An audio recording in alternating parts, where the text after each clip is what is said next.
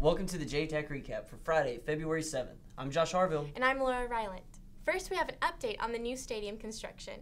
I had the opportunity to speak with Vice President of Student Life and Dean of Students, Rusty Jergins, in his office about the upcoming changes.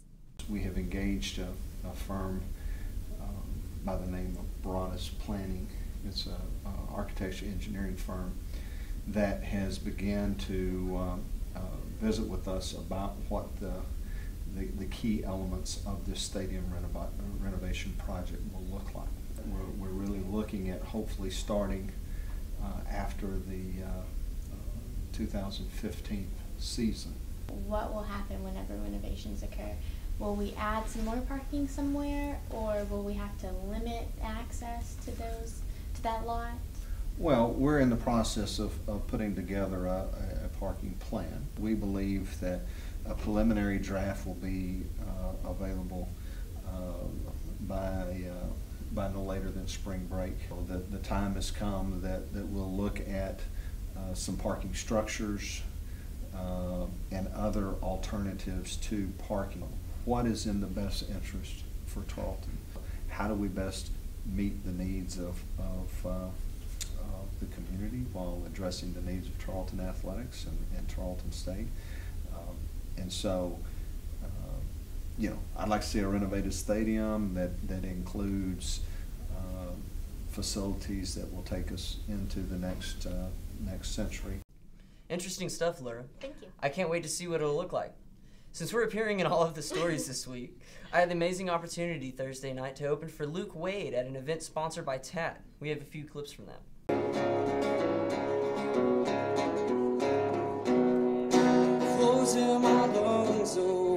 Heart and my soul.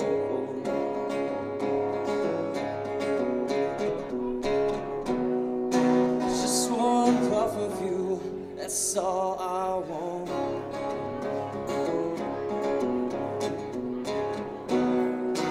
Let me breathe you in, girl, secondhand smoke.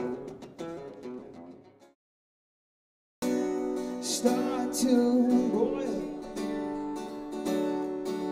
till the earth turns to glass.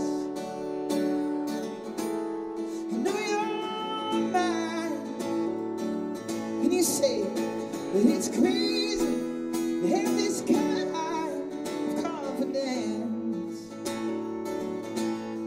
But with a love like this,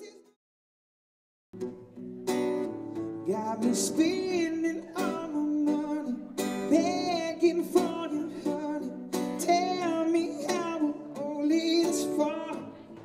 You got to give the runaround to make that candy taste so sweet. You got to give the runaround to let them know there's nothing for free. Luke was here to promote his new single, The Runaround, and it was an honor and a lot of fun to open for him. That's a really neat opportunity you had. It was. Mm-hmm. Did you write all those songs yourself? I wrote a couple. Wait, that was a really good job. Thank and you. I guess Luke Wade did pretty good too. the service that many students are unaware of that they have access to is Microsoft SkyDrive online service. It is a web-based application much like Google Docs, but the setup is like Microsoft products and includes 7 gigabytes of storage on your personal part on your personal part of Microsoft's cloud. The service is registered under the student's go.tarleton.edu Gmail account.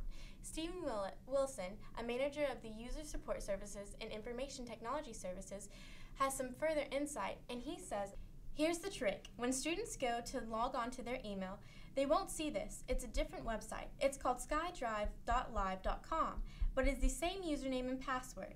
By logging onto your university provided go.tarleton.edu account, the email account the university provides, it, is, it has a bundle of free web based versions of Word, Excel, PowerPoint, and OneNote. The web app was built with 7 gigabytes uh, base storage, so the documents that are where are there wherever you go, and the students can save all their work on SkyDrive for the semester. We now go to JTAC News' Hillary Foreman with the sports. Hillary? Thanks, Laura. Over the weekend, the Texan basketball team defeated Texas A&M Commerce 84 to 71 for a Tarleton record 18th straight victory and moved up to number two in the NCAA Division II national rankings. The TexAnns also defeated Texas A&M Commerce 74 to 64.